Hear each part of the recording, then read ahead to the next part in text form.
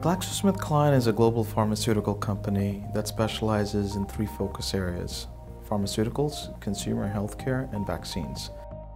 One of the big aspects that pharmaceutical companies invest in is R&D. If you really take a look at what the product that R&D produces, it's data.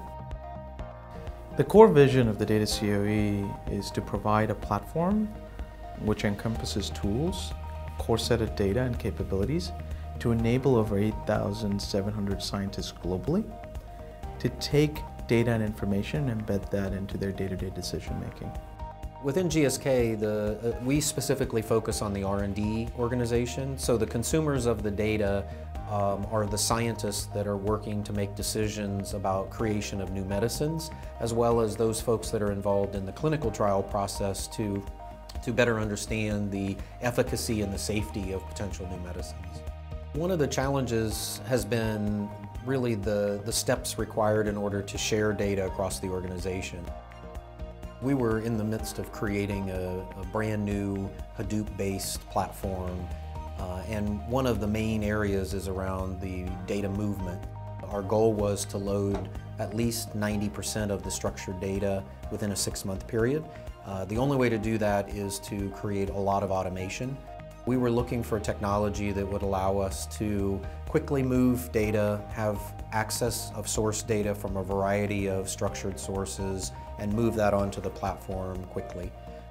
StreamSets was um, was a perfect fit for this because it allows us to uh, move the data with pipelines, and so they're very efficient in the way that the pipelines execute.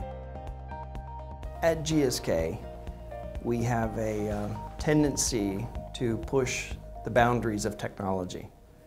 And with StreamSets, we found a partner that is flexible and adaptable.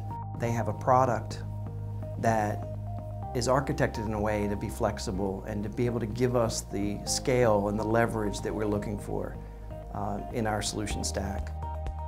We are bringing onto the platform several thousand sources of data, uh, combinations of structured and unstructured information.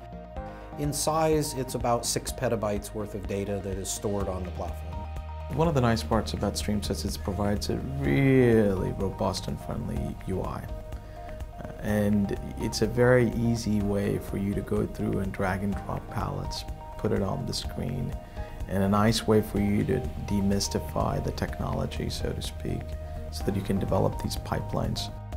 The core of StreamSets is open source, uh, which allows us to really understand at the very detailed level how the technology works and even to contribute concepts back to the community to extend the technology uh, but also the, the number of adapters that are available. So really that capability to connect to data sources and then execute the pipelines to move the information onto the platform was a second key factor.